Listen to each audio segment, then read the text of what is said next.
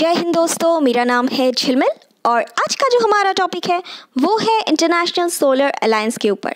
काफ़ी चर्चा में रहने की वजह से ये हर तरह के कॉम्पिटेटिव एग्ज़ाम्स के लिए बहुत ज़्यादा इंपॉर्टेंट है। तो आज की वीडियो में हम इंटरनेशनल सोलर अलायंस के बारे में विस्तार में पढ़ेंगे। सो लेट्स स्टार्ट ये न्यूज़ में क्यों है? ये न्यूज़ में इसीलिए है क्योंकि 2018 के मार्च महीने में इंटरनेशनल सोलर अलायंस का पहला समिट जो है, वो कंडक्ट किया गया था और वो हुआ था राष्ट्रपति भवन में।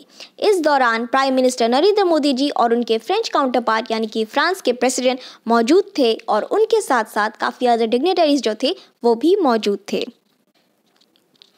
अब ये इंटरनेशनल सोलर अलायंस जो है, उसकी स्थापना कब हुई थी? इसका इनाग्रेशन कब हुआ था? इसका इनाग्रेशन हुआ था during UN climate change conference जो कि पेरिस में हुआ था और नवंबर 30 2015 अब एक बहुत इंपॉर्टेंट बात है कि इंटरनेशनल सोलर अलायंस का मेन ऑब्जेक्टिव क्या है? इसने एक टारगेट सेट किया हुआ है कि 2030 तक एक टेरावाट ऑफ़ एनर्जी जनरेट किया जाएगा। ये करना क्यों ज़रूरी है? क्योंकि इतनी तेज़ी से जो नेचुरल रिसोर्सेज का डिप्लेशन हो रहा है कि हमारे फ्यूचर जनरेशन के लिए एनर्जी रिसोर्सेज रहेगी ही नहीं। तो it is very important is the need of the hour to switch to alternative mode of energy alternative resources alternative resources की तरफ़ जाना अभी बहुत ज़्यादा इंपॉर्टेंट हो चुका है, क्योंकि इतनी तेज़ी से डिप्लेशन हो रहा है। तो इसीलिए, इसी उद्देश्य के साथ उन्होंने एक टारगेट सेट किया हुआ है कि 2030 तक एक टेरावाट ऑफ़ एनर्जी जनरेट किया जाएगा।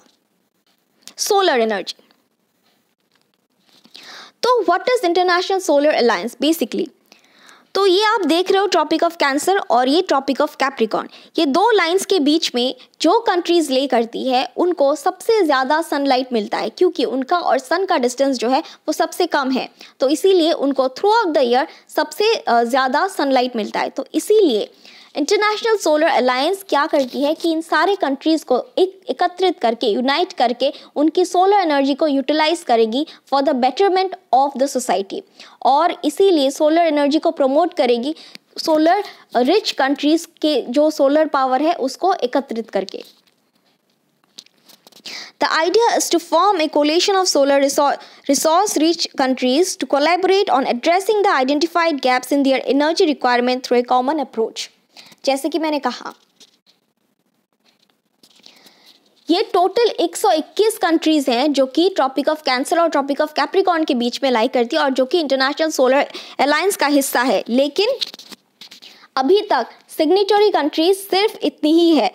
तो सिग्नेटरी कंट्रीज़ यानी कि उन कंट्रीज़ जिन्होंने अपना समर्थन पूरी तरह से दिया है, जिनमें इंडिया भी एक नाम है, वो है France Australia Bangladesh United Arab Emirates Brazil Venezuela Sri Lanka Ethiopia Yemen Fiji Algeria Ghana Egypt India Kiribati Liberia Madagascar Malawi Mali Mauritius Niger Niger Peru Rwanda Senegal Seychelles Somalia South Sudan and Tanzania ये सारी countries ने अपना return समर्थन दिया है कि हम तुम्हारे साथ हैं।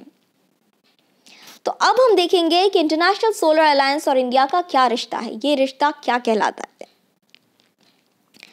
इंडिया इसका मेंबर तो है ही एक्टिव मेंबर है इंडिया इसका होस्ट है और इंडिया ने बहुत आग्रह से इसको समर्थन देने का निश्चय किया है। इंडिया ने बोला है कि भाई, तुम लोग एक टेरावाट ऑफ़ एनर्जी प्रोड्यूस करोगे तो हम भी तुम्हारे पीछे पीछे चल रहे हैं। हम भी 100 गीगावाट ऑफ़ एनर्जी तो प्रोड्यूस करेंगे ही करेंगे 2022 तक। हम तुम्हारे पीछे पीछे हैं, तुम लोग करो काम।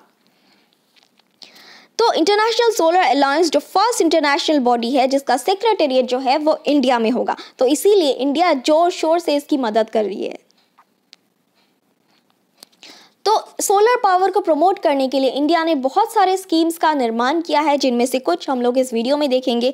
जो एक है Jawaharlal Nehru national solar mission जिसको नेशनल सोलर मिशन भी कहा जाता है, और जो एस्टैब्लिश किया गया था जनवरी 2010 में जो जिसको रीनेम किया गया है बाद में कि Jawaharlal Nehru national solar mission जिसका मेन एम था कि थर्टीन फाइव ईयर प्लान के एंड में, जो कि 2022 में होगा, उसके, उस तक बीस हज़ार मेगावाट ऑफ़ एनर्जी प्रोड्यूस किया जाएगा। एम था कि बीस हज़ार मेगावाट ऑफ़ एनर्जी प्रोड्यूस किया जाएगा और ये तीन फ़ेज़ में कंडक्ट होगा। फ़ेज़ वन जो कि होगा 2010 से 13 के बीच में, इस दौरान 1000 से 2000 मेगावाट ऑफ़ एनर्जी प्रोड्यूस किया जाएगा। फ़ेज़ टू होगा 2013 से 2017 के बीच में और इस दौरान 4000 से 10000 मेगावाट की ऑफ़ एनर्जी प्रोड्यूस किया जाएगा।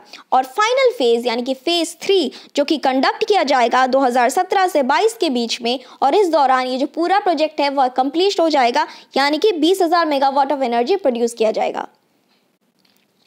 उसके बाद एक और स्कीम है जो है सोलर एनर्जी सब्सिडी स्कीम इसके तहत जो भी लोग अपने रूफ टॉप में सोलर पैनल्स इंस्टॉल करेंगे, उनको गवर्नमेंट की तरफ़ से एक कुछ अमाउंट मिलेगा, कुछ सब्सिडीज मिलेगा और इससे सोलर पावर को प्रमोट किया जाएगा। इस स्कीम का नाम है शिस्टी स्कीम जिसका फुल फॉर्म है sustainable rooftop implementation for solar transfiguration of India ये सारे प्रिलिम्स के लिए इंपॉर्टेंट है तो आप लोग इसको अच्छे से देख लीजिएगा। Solar Rooftop Subsidy Scheme is a Government of India initiative to promote use of solar rooftop in the country and the scheme which encourages the use of renewable energy in the country provides subsidy on solar rooftop installation to the consumers. जो भी लोग solar rooftop solar panels install करेंगे अपने roof में उनको कुछ amount of subsidies मिलेगा government की तरफ़ से और इस स्कीम का नाम है सृष्टि स्कीम ये स्कीम को याद रखिएगा उसके बाद गवर्नमेंट ने बहुत सारे इनिशिएटिव्स लिए हैं जिससे सोलर पार्क जगह जगह हर स्टेट में डेवलप किया जाएगा। उसमें इंफ्रास्ट्रक्चर्स जो है वो अच्छे अच्छे बनाए जाएँगे। हाल ही में वर्ल्ड का सबसे बड़ा सोलर पार्क जो है वो कर्नाटका में बनाया गया था। MNRE has formed a scheme aiming to set solar parks in various states, each of which is a capacity of 500 kilowatt. The scheme proposes to offer financial support to the the government to establish and facilitate infrastructure necessary for setting up of solar power plants.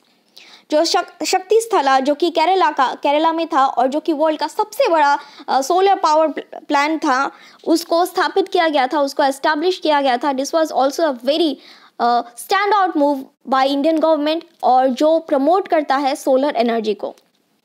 ये India के लिए need of the are क्यों है? क्योंकि India जो है 58 gigawatt energy from renewable resources करती है, जिसका मतलब अभी भी इंडिया जो है नॉन रिन्यूएबल रिसोर्सेज पे बहुत ज़्यादा डिपेंडेंट है। और अगर ये कम नहीं किया गया या रिन्यूएबल रिसोर्सेज ऑफ़ एनर्जी का जो परसेंटेज है उसको बढ़ाया नहीं गया तो हमारी फ्यूचर जनरेशन्स पे बहुत ज़्यादा विपत्ति आ सकती है। तो इसीलिए इंडिया बहुत ज़्यादा कोशिश कर रही है कि इसका जो परसेंटेज है 58 से 70 80 90 या फिर full percentage renewable resources of energy को कंट्रीब्यूट करे। तो इसीलिए इंडिया के लिए रिन्यूएबल रिसोर्सेज ऑफ़ एनर्जी या ऑल्टरनेटिव सोर्सेज ऑफ़ एनर्जी तो को, तक स्विच करना बहुत ज़्यादा इंपॉर्टेंट बन चुका है। तो इसी के साथ साथ आज के लिए बस इतना ही। कल फिर मिलेंगे कुछ नए लेक्चर्स के साथ। Thank you